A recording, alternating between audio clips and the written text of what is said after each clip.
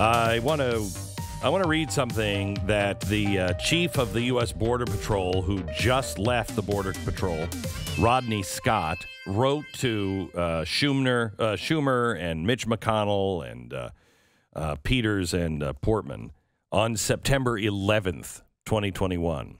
Now he has been not allowed to say anything. He's starting now to get out from underneath his all of his, you know, sworn duty uh, things, so, so he can actually start to actually talk to people.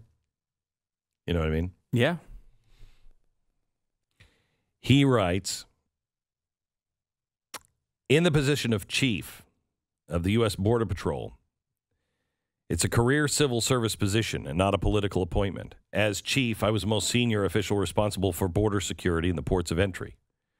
I witnessed an unprecedented seismic shift in our border security and immigration policy that was initiated January 20th, 2021.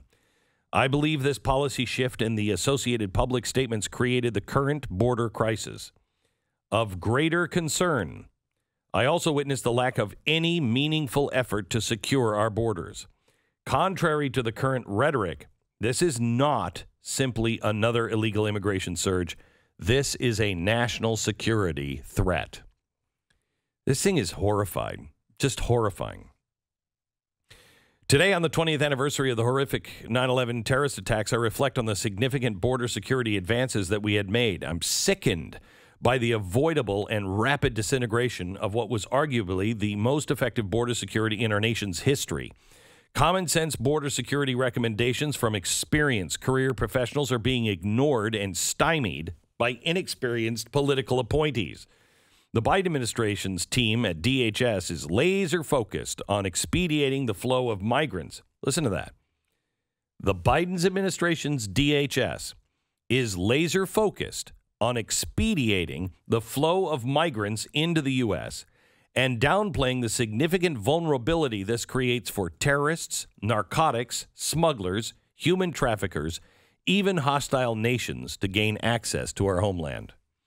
In my professional assessment, the U.S. Border Patrol is rapidly losing the situational awareness required to know who and what is entering in our homeland.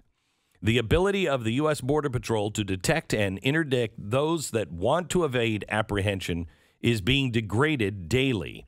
Low level, unsophisticated, and uneducated smugglers are illegally crossing the border and increasingly invading, evading ha- apprehension daily.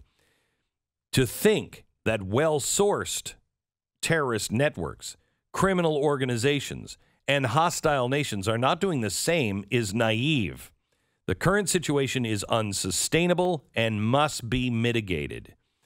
Experienced secret, uh, uh, experienced civil service staff within CBP, ICE, and DHS have provided multiple options to reduce the illegal alien, uh, alien entries and reestablish some semblance of border security through proven programs and consequences. Yet every recommendation has been summarily, uh, uh, uh, summarily say it, Stu. Summarily? Thank you. Rejected. Okay. Secretary Mayorkas is choosing to ignore the sound recommendations of career government leadership, despite his own admissions that he agrees with them. Of grave concern is the fact that Secretary and other political appointees within DHS have provided factually incorrect information to congressional representatives and to the American public. Try that one on for size. He's saying the DHS now, with the Biden administration, is lying to Congress and lying to the American people.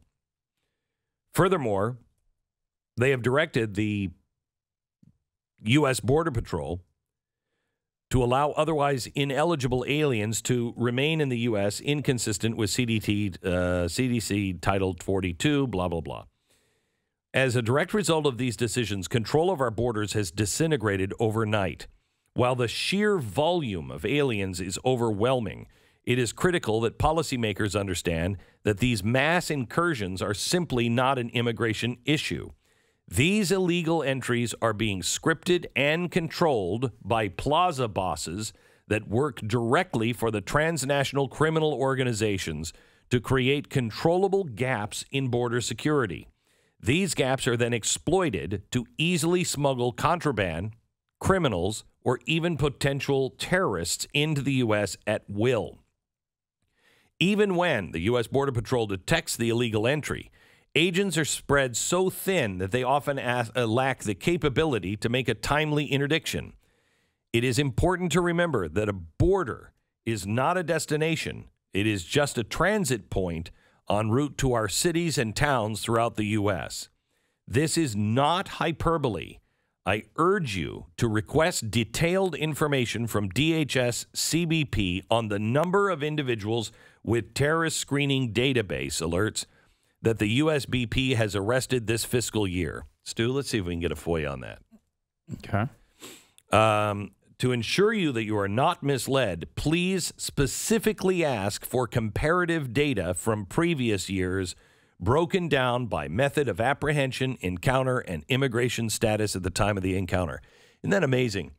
He's writing this to Congress and to the Senate. And he's saying, let me, let me give you that again. Uh, to ensure that you are not misled. Right. They'll release information that's unimportant to this point, right? Wow. But they'll just avoid. Or they'll redact. That's the other thing they do all the time. I also encourage you to ask questions about the surge in USBP personnel assigned to the border in Texas. What national security and public health risks are we knowingly accepting in the areas these agents were pulled from? How many miles of borders are now going uncontrolled daily to facilitate expedited processing and ultimately the release of these illegal aliens in the U.S.? What threats are we allowing into the U.S. by continuing to accept a thousand documented gotaways every day? What programs or IT system developments have been shut down or significantly delayed due to limited resources being redirected to the mass migration crisis? What impact has the current crisis had on the ability of the Border Patrol to conduct thorough debriefings of individuals to determine intentions, threat, and to document transnational criminal activity? He goes into the numbers, which are just staggering. In addition to the clear national security implications of an uncontrolled border, it's unconscionable that as COVID 19 continues to spread, DHS would choose to voluntarily carve out policy exceptions to Title 42. These carve outs do not appear to comport with any medical assessments that I have read. These policy carve outs are unquestionably placing the lives of Border Patrol personnel, U.S. citizens, and the migrants themselves at increased risk. In October 2020, over 91% of total encounters by Border Patrol were processed under T 42 and expelled in an average of 90 minutes.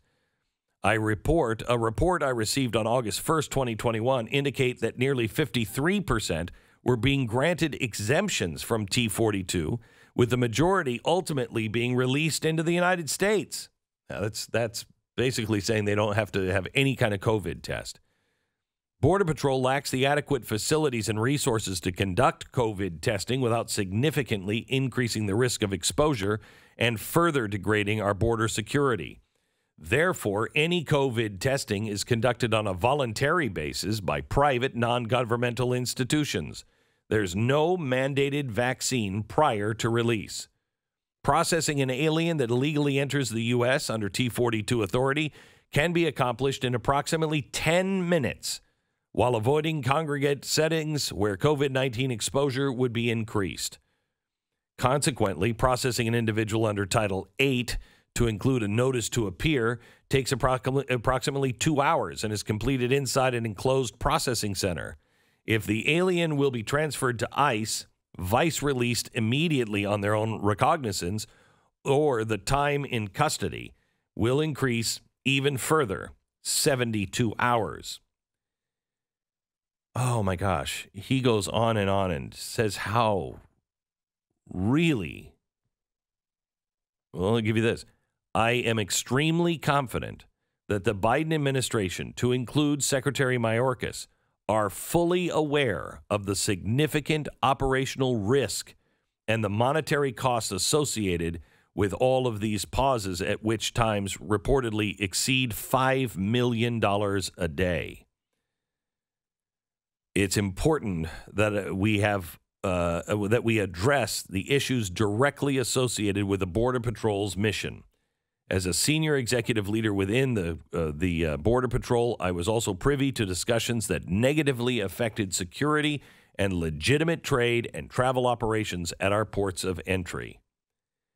I I hope Rodney Scott uh, testifies. I hope Rodney Scott. I hope Rodney Scott becomes a name that everybody knows.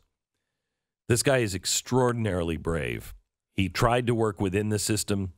Um, they just kept crushing and crushing and crushing. He is now retired and he is speaking out. Will anyone listen? That's the that's the real question. It doesn't seem like there's been a ton of interest from the media in this. There's not. You had that burst in March, as we kind of mentioned earlier, and you had the burst when some of the footage came out, but it was really all from Fox News and conservative sources. The only thing that has brought the media to the party here when we're talking about the border are these pictures of uh, border agents on horses, which now gives them a way to say that the border agents are bad.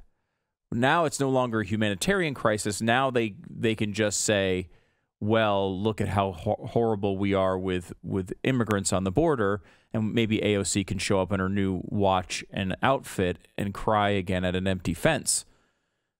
I guess that's the the next step here. But it does seem like there is a there's no interest unless they can come up with an angle that backs up the idea of oppression and all of these other things as opposed to what's happening to these people who you know some of them are actually just out there to break the law some of them believe they're they're completely within what the administration wants within the Oh, I think they are. they're there because they think they've been invited to be Yes. there and that doesn't mean we should let them in but it does mean that you know it's a different situation than um, than some previous border out, outbreaks uh, not to mention you know when he's speaking of outbreaks as he mentions in the letter serious concern here with covid i mean we keep talking about they keep talking about well we need to get everybody vaccinated for covid Why are you why are you not vaccinating then people coming in from other countries? And you might think, okay, well, you know, they're on the border.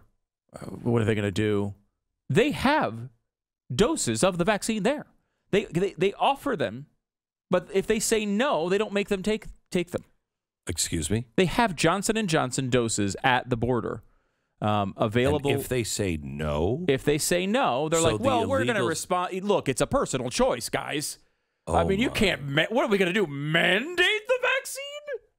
Yes, that's what you've been doing to regular citizens who want to go to their jobs. People who actually are supposed to be in the country. That's what you keep doing to them. You're making kids mask up, but you won't make. Uh, the little, very least we could do is ask them uh, and make them take the vaccine if they want to somehow come into the country. And by the way, the question, if you remember this back and forth with Jen Psaki and uh, Peter Doocy the other day, Peter Doocy didn't even say, it was reported like, shouldn't we be mandating these vaccines? That's not the question Peter Doocy asked. He said, should we be either, are we asking, uh, are we asking them if they're vaccinated and they have proof of vaccination or they have to complete a test? And the answer was, well, look, they're only going to be here for a few days, and they're not intending to be here, and they're not. If they show symptoms, then we're. And she came up with all these BS it's excuses. asymptomatic. They keep lecturing us that On we asymptom- have to have the vaccine because we're asymptomatic. right, and asymptomatic transmission, Yes. right? Which obviously this is a much easier disease and uh, to deal with if there is no asymptomatic uh, transmission. So obviously, we're well beyond that point here. But but but in that question was an option to just test them, and even that she didn't say we are doing. Now, that is uh, built into the Biden mandate as well, this one that's been proposed, but shockingly, no rule has actually been written yet. I don't know if anyone's noticed this. They just don't seem to be coming up with this rule. They made this big announcement two days before September 11th when he was in the middle of dealing with all of the press uh, catastrophes of Afghanistan. After two consecutive months of growth in the rate of vaccination, we doubled the rate. Then he comes out with a mandate. And Makes uh, no sense. And by the way, he doesn't have to do the mandate. The corporations are doing it for him.